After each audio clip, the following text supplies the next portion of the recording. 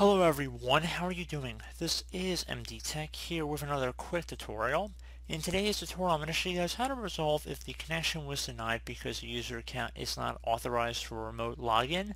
So if you're perhaps experiencing insufficient permissions from your user account when, when trying to access the host, this tutorial will be for you. So we are going to jump right into it and we're going to start by opening up the start menu. Just off going the start button one time. Type in local security policy.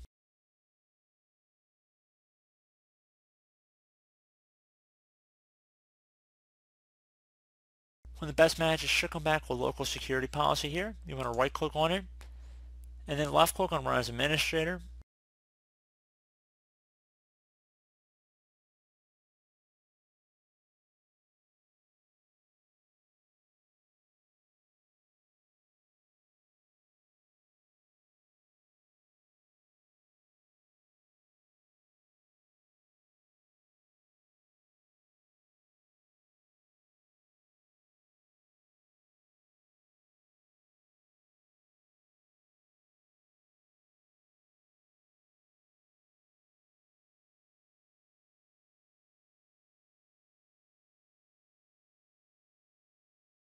Okay, so once the local security policy window is open here, we're going to go expand the local policies folder on the left side. So either double click on it or left click on the little arrow next to it to expand. And now you want to expand the user rights assignment. So expand that one as well.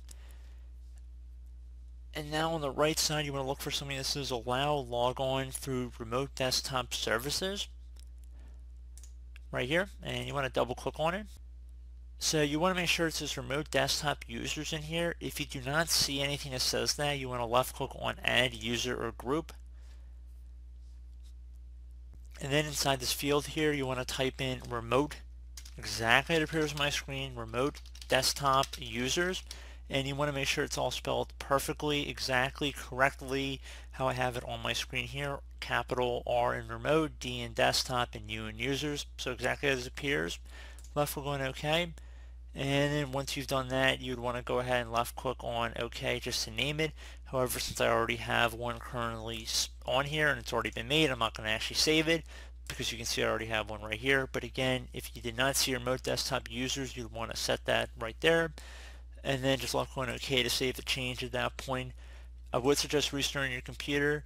You can also alternatively, instead of restarting it, you can just open up the start menu, type in CMD, Best match should come back with command prompt. You want to right click on that and then left click on run as administrator.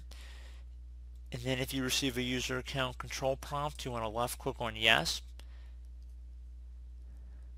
Now in this Elevate command line window, you want to type in gp update. So again, G-P-U-D-A-T-E,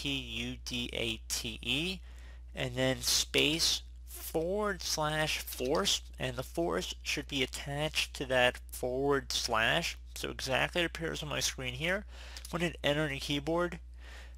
And once you're done with that, if you actually had created a new user back there, you would see that it should be able to run successfully. So restart your guys' computer and then hopefully that should have been able to resolve the problem. So pretty straightforward. Do hope I was able to help you guys out and I do look forward to catching you all in the next tutorial. Goodbye.